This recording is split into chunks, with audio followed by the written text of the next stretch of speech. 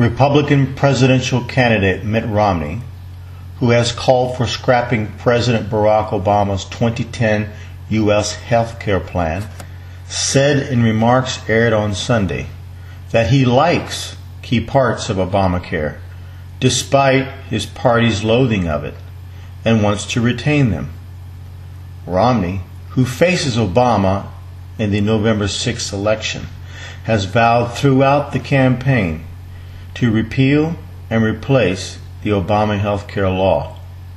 But asked about the Obama health care law on NBC's Meet the Press program, Romney said, Well, I'm not getting rid of all of health care reform.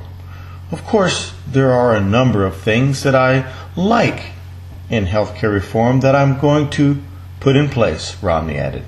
One is to make sure that those with pre existing conditions can get coverage. Two is to assure that the marketplace allows for individuals to have policies that cover their family up to whatever age they might like. The Obamacare law, among other provisions, prevents insurance companies from denying medical coverage to people who already are suffering from a medical condition. It also allows parents to keep their young adult children on the health insurance plans until age 26.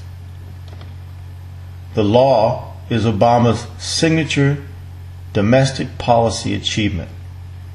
Elements of the state health care reform plan that Romney put in place as governor of Massachusetts served as a model for the federal law passed by the U.S. Congress and signed by Obama in 2010, despite unified Republican opposition.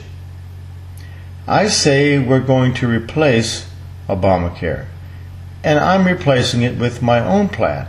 And even in Massachusetts, when I was governor, our plan there deals with pre existing conditions and with young people, Romney told Meet the Press. On the day the Supreme Court upheld the Obama law in June, Romney said the American people must vote the president out of office in order to get rid of Obamacare. The law is the most sweeping overhaul since the 1960s of the unwieldy U.S. healthcare system.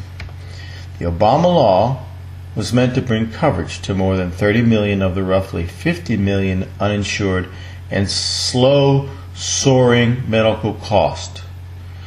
Republicans say it meddles in the lives of individuals and in the business of the states.